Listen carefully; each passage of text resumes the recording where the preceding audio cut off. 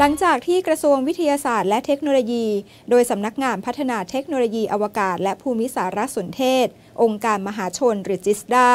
เปิดรับสมัครการแข่งขันพัฒนา GIS แอปพลิเคชันเพื่อตอบสนองต่อภาคธุรกิจ หรือ G GAP ที่เปิดโอกาสให้นักภูมิศาสตร์ และนักภูมิสารสนเทศ ที่มีความคิดริเริ่ม ในการพัฒนาผลงาน งานวิจัย ไปต่อยอดในเชิงธุรกิจ หรือพัฒนาแอปพลิเคชัน เพื่อทำประโยชน์ให้กับสังคม และมุ่งหวังให้เกิดนักพัฒนาเว็บแอปพลิเคชัน บนระบบภูมิสารสนเทศกลาง เพื่อการบริการแผนที่ออนไลน์ หรือ GISTDA Portal Platform ที่มีศักยภาพในการประยุกต์ใช้เทคโนโลยีภูมิสารสนเทศ เพื่อประโยชน์ทางธุรกิจ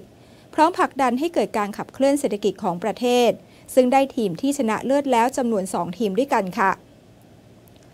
นางการดาสีลิมปาคม ผู้อำนวยการสำนักพัฒนาธุรกิจ และเครือข่ายพันธมิตร กล่าวว่าการแข่งขันในครั้งนี้ มีผู้ให้ความสนใจเข้าร่วมเป็นจำนวนมาก ได้รับเสียงตอบรับจากผู้ประกอบการ ถึงผลงานที่นักพัฒนาได้พัฒนาอย่างดีเยี่ยม ทั้งจากทางภาครัฐ และภาคเอกชน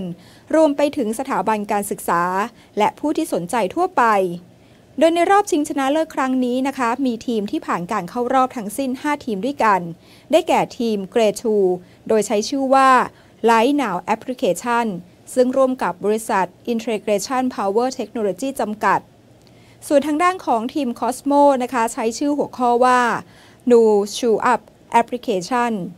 และทีม Overcome ใช้หัวข้อว่า Drone Bonding Application ซึ่งร่วมกับบริษัท Newland Technology จำกัด และมหาวิทยาลัยราชภัฏอุตรดิตถ์ค่ะ ขณะที่ทีม Geo Dream นะคะ ใช้หัวข้อว่า Chilry Republic ซึ่งร่วมกับบริษัทไทย Smart Life จำกัด และทีม Geonic หัวข้อ Agri Selected Application ร่วมกับบริษัท Power Team Network จำกัดค่ะ